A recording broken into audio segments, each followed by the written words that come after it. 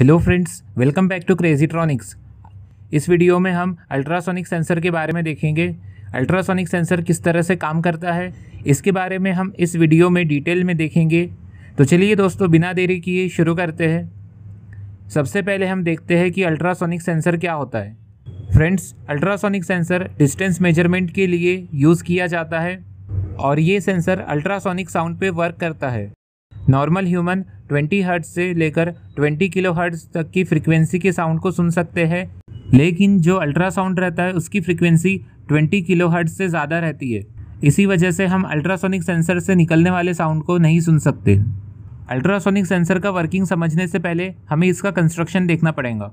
इसमें दो piezo electric transducers लगे रहते हैं, जिसमें से एक रहता है ट्रांसमीटर जो कि अल्ट्रासोनिक पल्सेस को ट्रांसमिट करता है, और दूसरा रहता है रिसीवर जो कि अल्ट्रासोनिक पल्स को रिसीव करता है।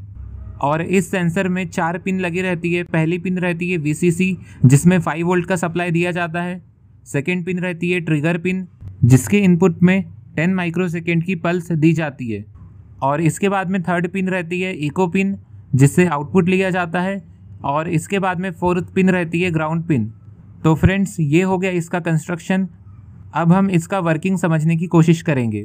तो अल्ट्रासोनिक सेंसर में 5 वोल्ट का सप्लाई देने के बाद में इसकी ट्रिगर पिन पर 10 माइक्रोसेकंड तक हाई पल्स दी जाती है।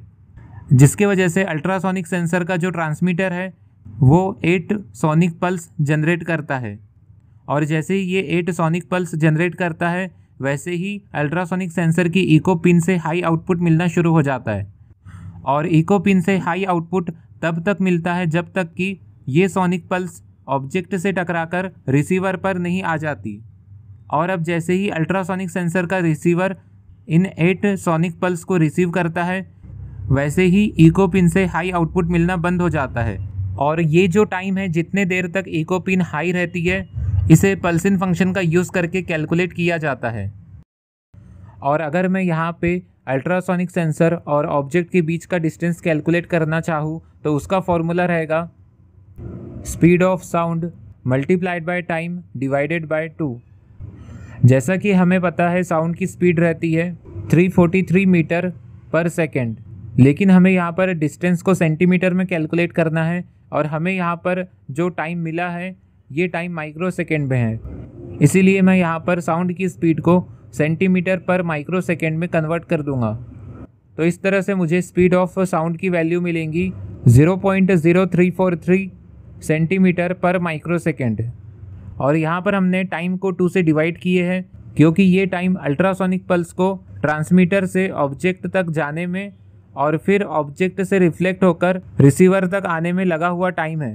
एग्ज़ाम्पल के लिए मान लीजिए मैंने सेंसर से कुछ डिस्टेंस पर कोई ऑब्जेक्ट रखा हो और अल्ट्रासोनिक सेंसर के ट्रांसमीटर से अल्ट्रासोनिक पल्स इस ऑब्जेक्ट से टकराकर अल्ट्रासोनिक सेंसर के रिसीवर पर आती है, जिसकी वजह से इको पिन 500 माइक्रो सेकेंड तक हाई रहती है। तो इस तरह से पल्स इन फ़ंक्शन इस 500 माइक्रो सेकेंड को रिटर्न करेगा और इस वैल्यू को फॉर्मूले में रखने के बाद में मुझे डिस्टेंस की वैल्यू मिलेंगी 8.575 आई होप कि आप इस फॉर्मूले को समझ गए होंगे। और नेक्स्ट वीडियो में हम इसी फॉर्मूले का यूज़ करके आर्डुइनो के साथ में अल्ट्रासोनिक सेंसर को इंटरफेस करेंगे और अल्ट्रासोनिक सेंसर से डिस्टेंस मेज़रमेंट करेंगे। फ्रेंड्स, ये हो गया अल्ट्रासोनिक सेंसर का वर्किंग। अब मैं आपको कुछ ऐसे पॉइंट्स बता रहा हूँ जिसे आपको याद रखना पड़ेगा। पहली बात ये कि ultrasonic sensor H C S R zero four की रेंज रहती है टू सेंटीमीटर से फोर मीटर तक। इसका मतलब कि आप इस सेंसर से फोर मीटर से ज़्यादा की दूरी पर रखे हुए ऑब्जेक्ट के डिस्टेंस को कैलकुलेट नहीं कर सकते। और सेकेंड बात ये कि साउंड की स्पीड रहती है 343 metre per second 20 degree Celsius temperature पर। और जब टेम्परेचर कम ज़्यादा होता है, तब साउंड की स्पीड पर भी इफ़ेक्ट पड़ता है। इसीलिए इस सेंसर का यूज़ उस जगह नहीं किया जा सकता जहाँ पर टेम्परेचर रैपिडली कम ज़्यादा होता है। तो फ्रेंड्स, ये कुछ अल्ट्रासोनिक सेंसर के पॉइंट्स है जो कि आपको याद रखना है। फ्रेंड्स, आई होप कि आपको अल्ट्रासोनिक सेंसर का वर्किंग आसानी से समझ में आ गया होगा। और अगर आपको अभी भी कोई डाउट है तो आप हमसे कमेंट करके पूछ सकते हैं। फ़िलहाल के लिए इस वीडियो में इतना ही। अगर आपको ये वीडियो पसंद आया है तो प्लीज़ इस वीडियो को लाइक कीजिए। अपने दोस्तों तक इस वीडियो को शेयर कीजिए।